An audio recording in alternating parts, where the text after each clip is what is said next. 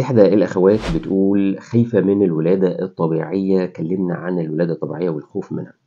طيب آه أنا مش هكلمك عن الولادة الطبيعية ولكن هكلمك عن سر ربنا سبحانه وتعالى جعله ينزل على كل أم بتلد ودي حقيقة مش من عندي.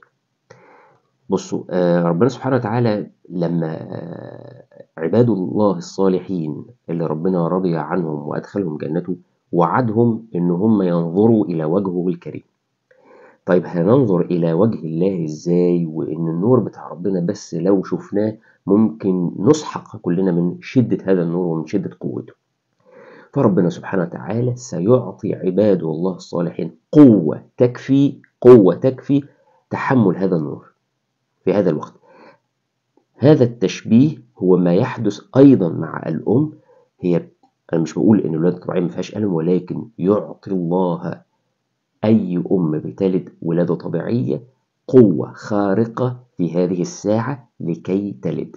وبعد أن تلد بتتعجب هي إزاي عدت منها. عدت وهتعدي وبتعدي ملايين المرات حول العالم لأنها قوة خارجية خارقة من عند الله سبحانه وتعالى بتنزل على أي سيدة بتلد في هذه الساعة. ولذلك بالبلدي كده دايما بيسموها الساعة المنسية. يعني ساعة وبعد مدة تقولي إيه ده؟ إحنا عايزين نحمل تاني عايزين نجيب اخ الايه للولد. الله أنت نسيت الساعة دي؟ آه نسيتها. لأنها فعلا ساعة منسية. هتعدي هتعدي. تنسوش صلوا على النبي صلى الله عليه وسلم. والسلام عليكم ورحمة الله وبركاته.